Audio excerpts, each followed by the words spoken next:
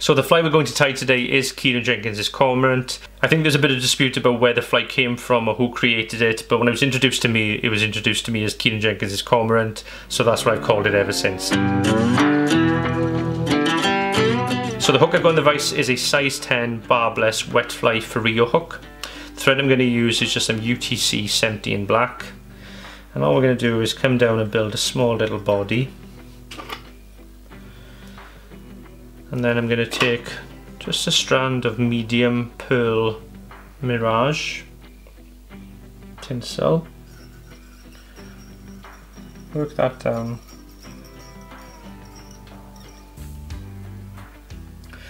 And then work it back up. So the vice I'm using today is a Cadarn vice, as I mentioned. This is a company that build vices in Wales. It's a very small company and they haven't paid me to talk about this vice. This vice I'm actually using right now is a friend's and I asked them if I could borrow it to do a review on because I'm that impressed with the quality. The vices themselves are bespoke. You can have your name custom engraved on it, you can have an icon, you can have a flag on the anodized base so, by jumping back into the fly, next step is just build a small body with pearl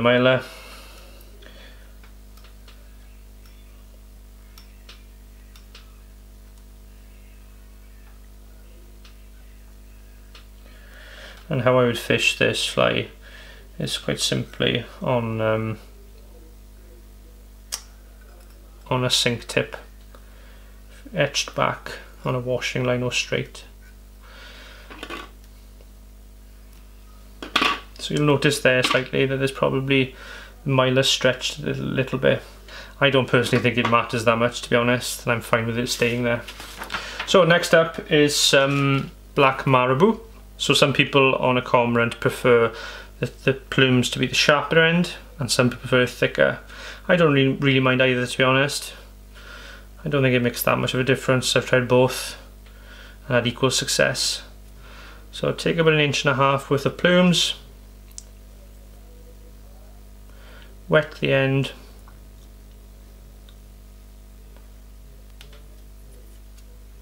and then catch those in.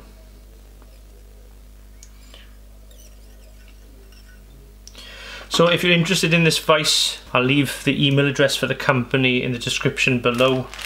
Um, there are two models to choose from. There's this one, which I think is the Pro one. Um, and one of the differences with the Pro one is, is that it comes with this knob here, um, which is, is helpful. It's great if you if you're used to having a knob at that point in the device. Personally, I'm comfortable with the large knob that's here, just because that's how I intend to work. Um, so, wet the front, get as thin as possible, and then come in and just take this away.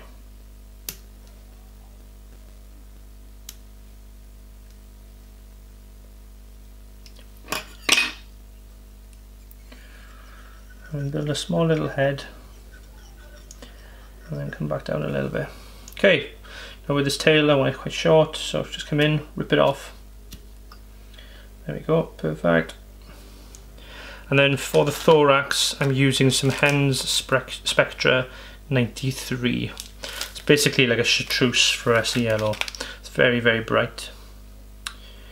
So if you fish Elodine, this is a fly for Elodine if any is. It's really successful down there. And not many people know that or fish it. So just come in, wrap that around nice and neat. And then just take a black hackle. I like a hen for this, but you could use a cock. And you don't have to be fussy here. Catch that in, a couple of turns. Take some hackle pliers. And then just two turns.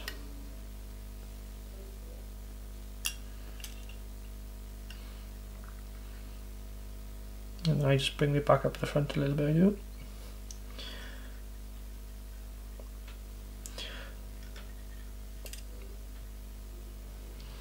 And as long as it's in tight, take away the hackle pull everything back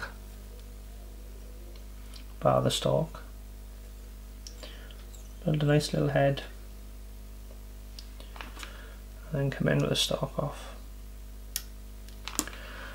And then quick whip finish.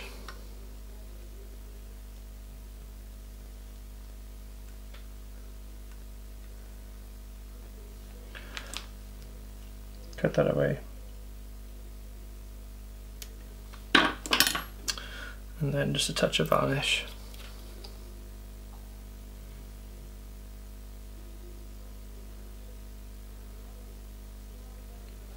So that is the fly, that is the vice. Thanks for watching and I will see you in the next one.